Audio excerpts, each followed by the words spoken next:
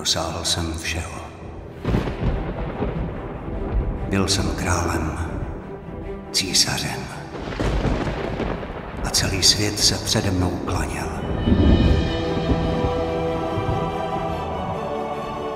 Nyní na konci mého života se však sám sebe stále dokola ptám. Učinil jsem vše, co bylo v mých silách. Říkali mi Karel IV. A toto je můj příběh.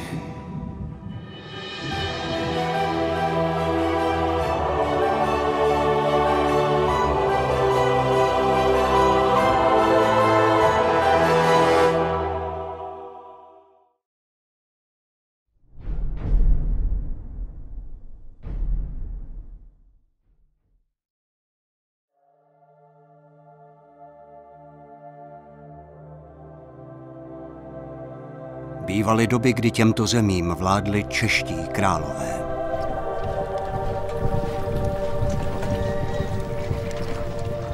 Kdy jejich moc vnášela strach do srdcí nepřátel. S píchou však přichází pád. Zrazeni, poraženi, vyvražděni.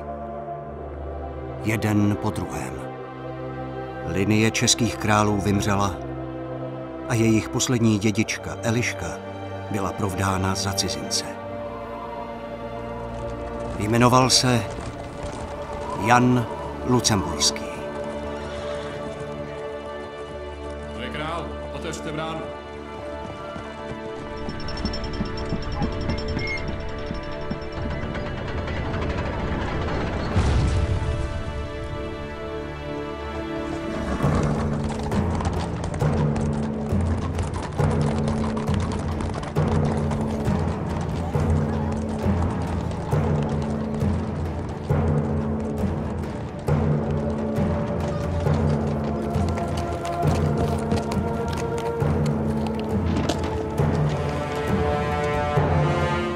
To být další slavný král.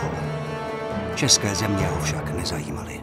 A celé království pro něj znamenalo pouze truhlu plnou mincí. V šestém roce jeho vlády se však něco změnilo. Eliška porodila syna a Jan Lucemburský se stal otcem. Mým otcem.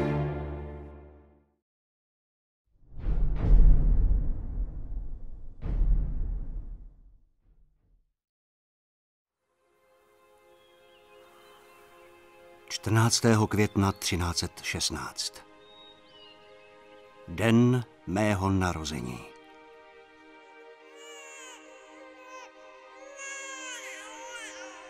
Říkali, že to bylo dobré znamení v těžkých časech. A od těch nejbohatších po nejobyčejnější všichni si uvědomovali moji důležitost.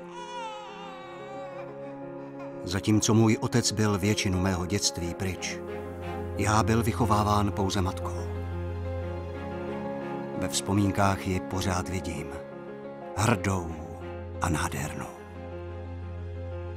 Právě ona mě naučila milovat tuto zemi a ctít své slavné předky. Moci chtivá šlechta však záviděla vliv, který na mě měla. Za pomoci lží a pomluv rozhádala mé rodiče tak, abych se stal loutkou mocných. Budoucí král, kterého by všichni snadno ovládali. A můj podezřívavý otec těm lžím naslouchal.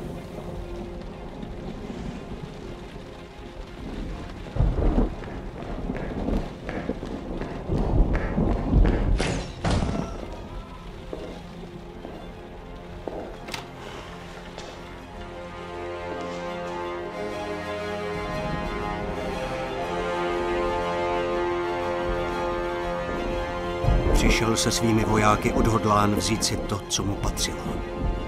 Připraven proto i zabíjet. A ani má matka mě nemohla uchránit. Byl jsem uvězněn na jednom z jeho hradů. Zmaten a osamocen. Na neznámém místě, odkud nebylo úniku. Teprve poté mi konečně sdělil své rozhodnutí. Poslal mě do Francie, kde se mi mělo dostat řádného vychování.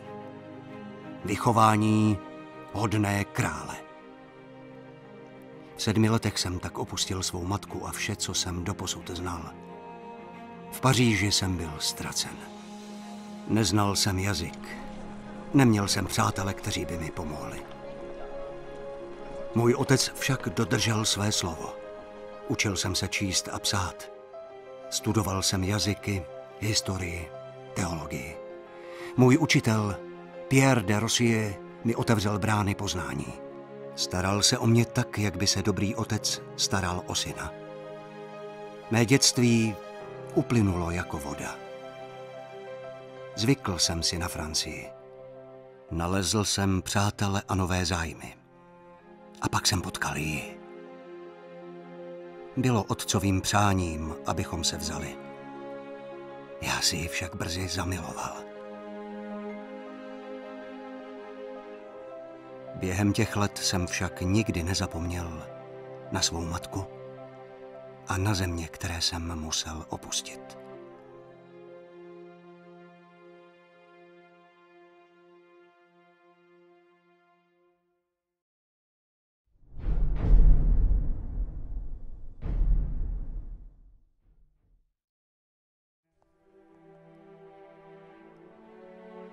Byl jsem mladý, cíle vědomý. Život plný slávy byl přede mnou. Byl jsem vzdělaný, nevšak moudrý. Dnes již vím, že právě tehdy jsem poprvé chyboval. Byl to patnáctý rok mého života. Sotva jsem si zamiloval Francii, můj otec vydal další příkaz. Měl jsem s ním odjet do Itálie a pomoci mu v jednom z jeho tažení. A já opět neměl na vybranou. Opustil jsem svět vzdělanců a odešel do války.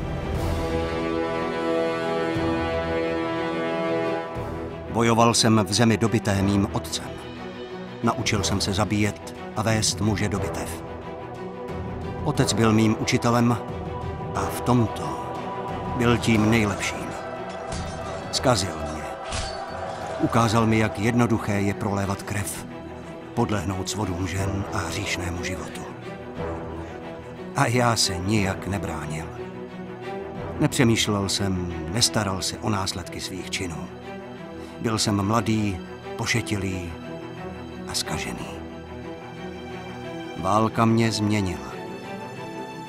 Na čem dříve záleželo? Znalosti, víra, jsem vyměnil za vzrušení zboje a pozemských chtíč. A tak vše pokračovalo, dokud mi nebylo připomenuto, co jsem zanechal za sebou. Dokud nepřijali zoufalí poslové z Čech. Země trpí, lidé hladoví. Kostely leží v prachu.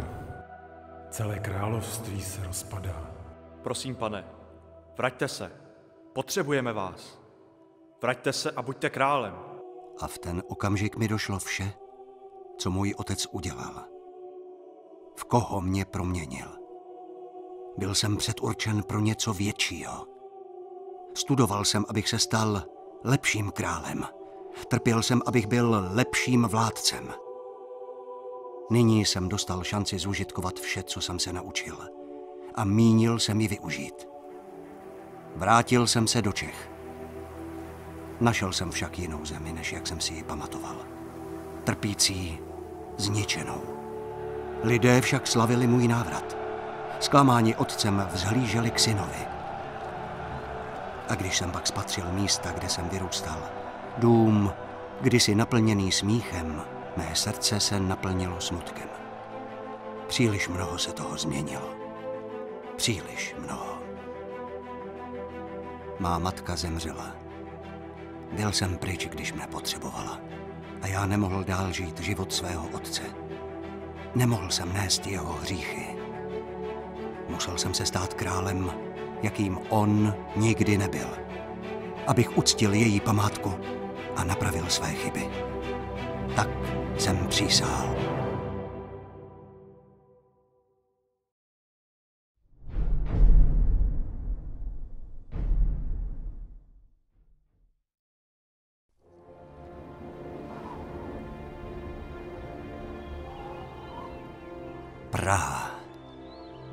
Mých představách jsem ji už viděl. Rozlehlou a velkolepou. Věděl jsem, že nesmím ztrácet čas.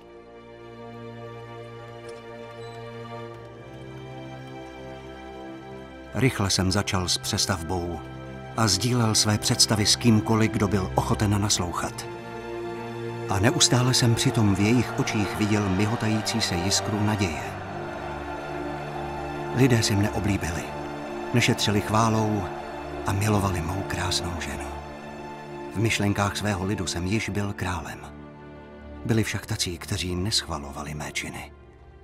Zrádce z řad šlechty donesl zprávu mému otci, že si přivlastňuji jeho korunu. Janova odpověď přišla v zápětí.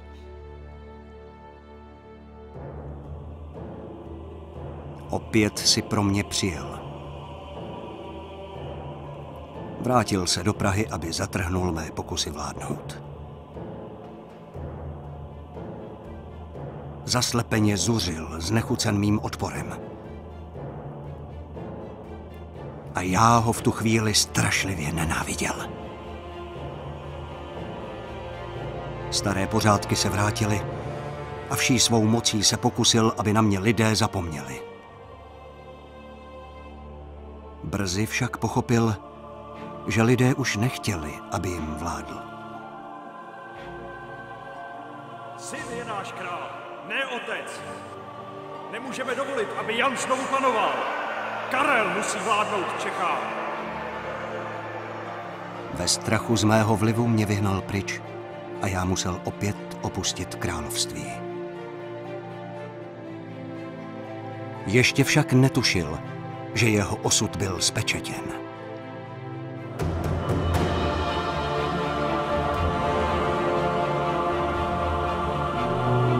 Hrdý a pyšný, přesvědčen, že ho nic nemůže porazit, se vrátil ke starým způsobům.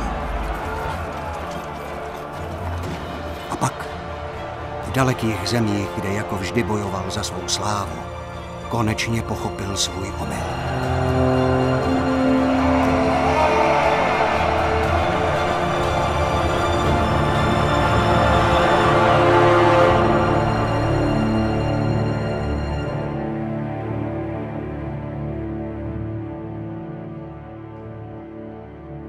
Nemoc mu vzala zrak a vše se změnilo. Když se vrátil, byl z něj jiný člověk. Už ve mně neviděl soupeře, viděl dědice.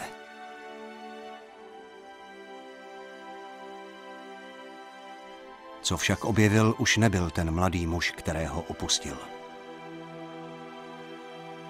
Našel jsem ho v tom ubohém stavu a on mě přivítal s otevřenou náručí. Jakoby naše minulost mohla být jen tak zapomenuta.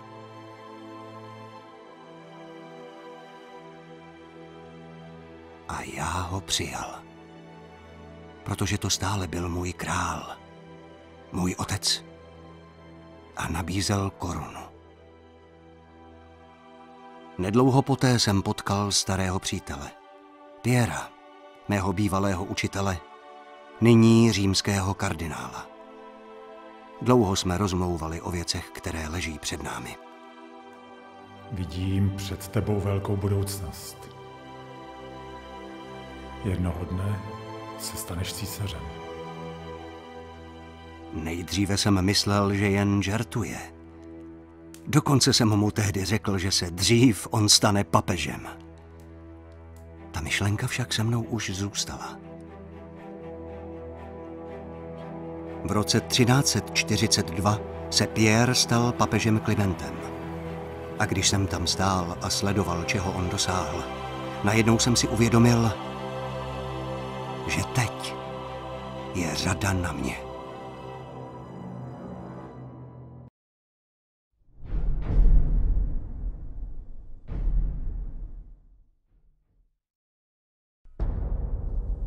Léto roku 1346. Angličané přistáli na kontinentu a francouzi vyjeli, aby se s nimi utkali. Střetli se u Kresčaku.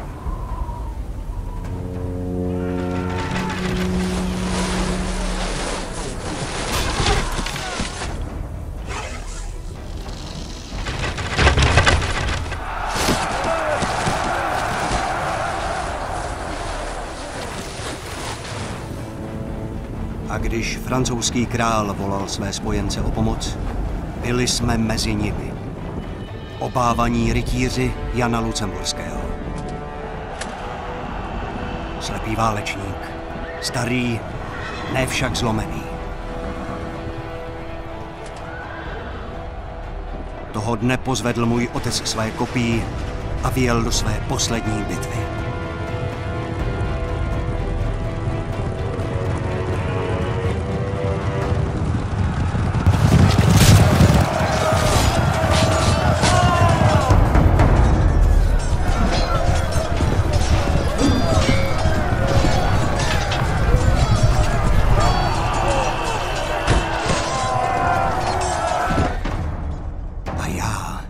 Jeho jediný dědic, jsem ho nemohl pomstít.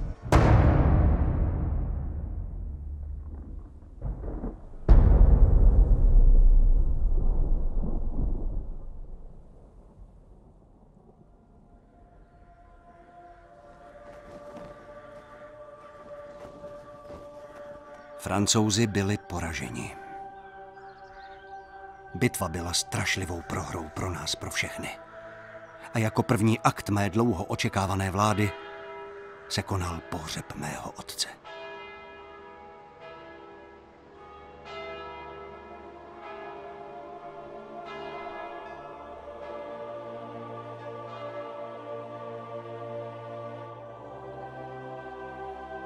Teprve na konci obřadu jsem si uvědomil, že je skutečně pryč. Už nemohl řídit každý můj krok. Konečně jsem mohl jednat podle své vůle.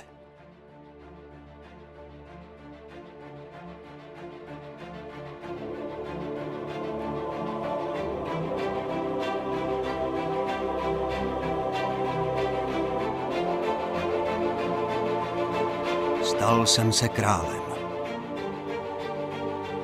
Vládl jsem mnoha zemím, které se rozprostíraly široko daleko.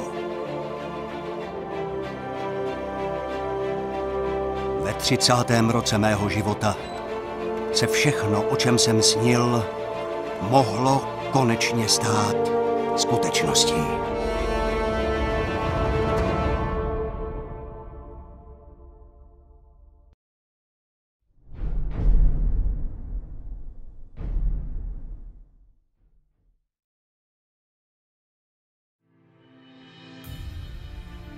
Konečně. Praha byla v mých rukou a možnosti byly neomezené. Pozval jsem nejlepší stavitele Evropy a poté jsem mohl začít. Dal jsem Praze nový kamenný most, jeho sláva měla zastínit všechny ostatní. Byla to ohromující stavba, která se brzy stala klenotem řemesla.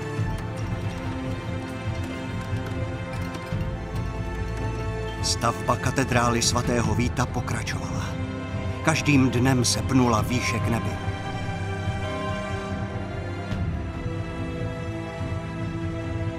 Můj sen se pozvolna stával skutečností a na malý okamžik zavládl v mé duši klid.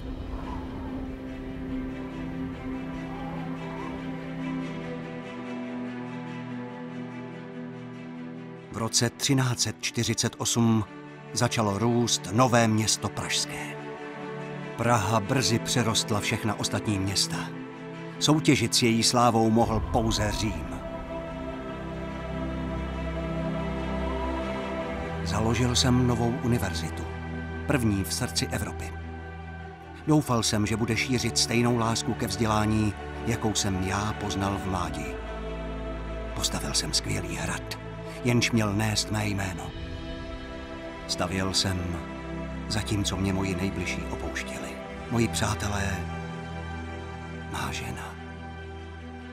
Stavěl jsem pro památku mé matky. Stavěl jsem, abych byl králem, jakým jsem slíbil, že budu. Stavěl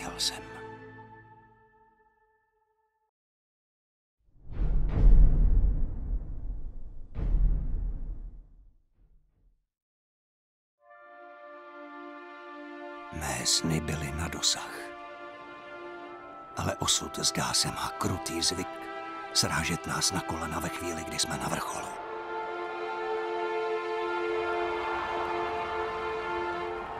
Hned pod mým hradem se často pořádali turnaje. Jako král jsem se jich však nemohl účastnit. Nebyla to kratochvíle hodná mého postavení, říkali. Šlo jen o obyčejnou zábavu pro běžné rytíře. Ale já si nemohl pomoci. Možná to bylo cosi z mého otce, co se ve mně opět probudilo. Brzy mě pohltil neklid. Chybělo mi to dávné vzrušení z bitvy. Mnohdy jsem odcestoval pryč z Prahy na místa, kde mě nikdo nepoznal. Tam jsem pak bojoval jako rytíř a opět si užíval plody mého mizejícího mládí.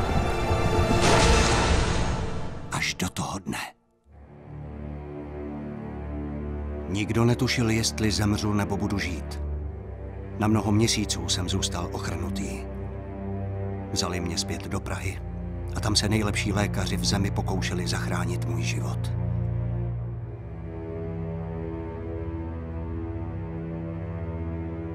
A když jsem nabil vědomí, uvědomil jsem si, jaké hrozné chyby jsem udělal. Má pícha mě ovládla a dostala sem. A teprve, když jsem pochopil tuto lekci, mohl jsem se uzdravit. Nebyl jsem jen králem, ale také člověkem. Zranitelným, chřadnoucím. Dny mladistvých radovánek byly u konce. Musel jsem opustit cestu svého otce a navrátit se na svou vlastní.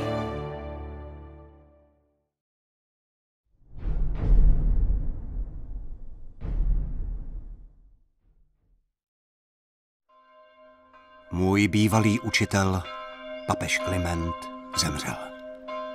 A s jeho odchodem se tak vrátila vzpomínka, tak dlouho ztracená v čase. Jednoho dne se staneš císařem. A já ji nemohl zapomenout. Byl jsem proto přeturčen, abych svým zemím dal nejmocnějšího ze všech králů. A tak jsme vyrazili. Krváceli jsme a umírali. Vše pro ten jediný cíl.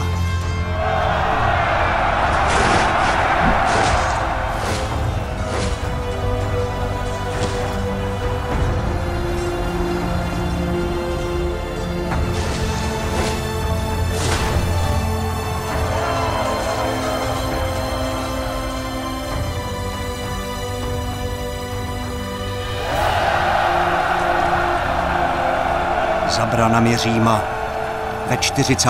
roce mého života byla Klimentova slova naplněna.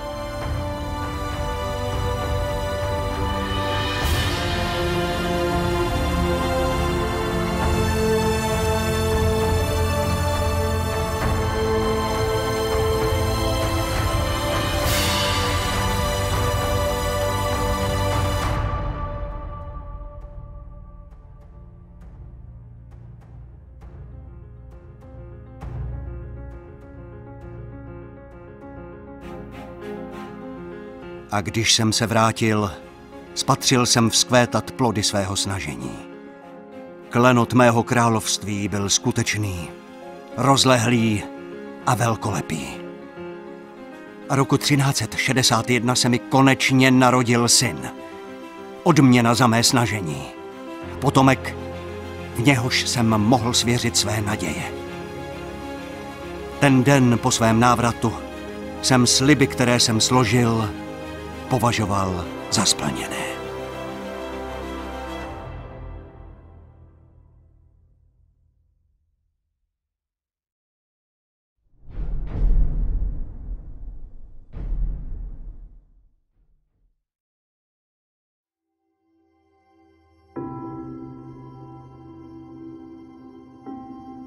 Byla to dlouhá cesta, která mě dovedla až na konec. Překonal jsem své nedostatky, své hříchy, své předsudky. Byl jsem korunován císařem a splnil vše, co jsem přísahal. Časem jsem však přerostl váhu svých slibů a uvědomil si, že nejde o splněné slovo, ani o moc, kterou získáte. Nýbrž pouze o to, co po sobě zanecháte. Na tom jediném skutečně záleží. Měl jsem sjednotit svět pod svým praporem. Stále však zůstává rozdělen. Ale je třeba víc než jen sny jednoho starce. Je třeba vůle mnohých. A tak nyní vzalížím k dalším generacím, aby naplnili můj sen a sjednotili, co zůstává rozděleno.